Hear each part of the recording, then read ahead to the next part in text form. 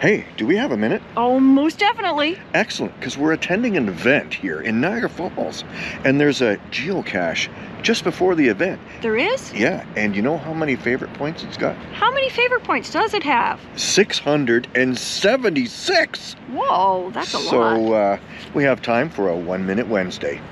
And you know what? What? Uh, this is in a garden that I've lived near Niagara Falls Yes. up until I was uh, about 20 But have we visited? and had never been here. so now is our chance. Come along with us.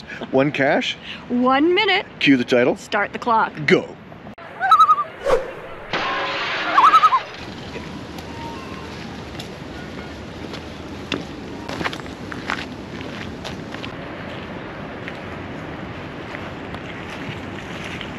It says sit on the rock plateau and reach to your left into a hole. In a hole. Down here somewhere. Ah, I got it. Found it. Cool.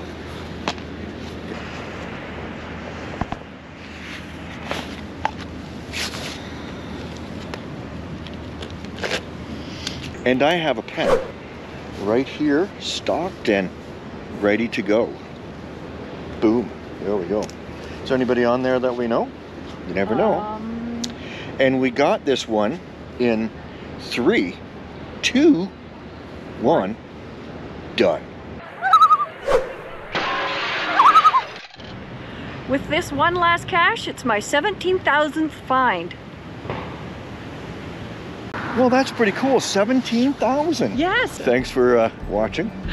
Keep watching. There's more caches to be found. And where will geocaching take you?